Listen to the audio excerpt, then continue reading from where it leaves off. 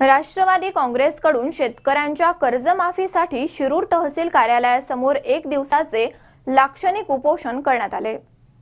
शेतकऱ्यांच्या शेतीमालाला योग्य भाव मिळत नसून हमखास आणि नीती नियमाने बाजारपेठ मिळत नसल्याने शेतकरी हवालदिल झाला असून सत्तेचा उपभोग घेत असलेल्या राजकीय मंडळींना याचा विसर पडला असल्याने त्यांना जाग येण्यासाठी शिरूर हवेलीचे माजी आमदार अशोक बापू पवार यांच्या नेतृत्वाखाली शेतकरी आणि राष्ट्रवादीच्या कार्यकर्त्यांनी तहसील कार्यालयासमोर एक दिवसीय लाक्षणिक उपोषण केले.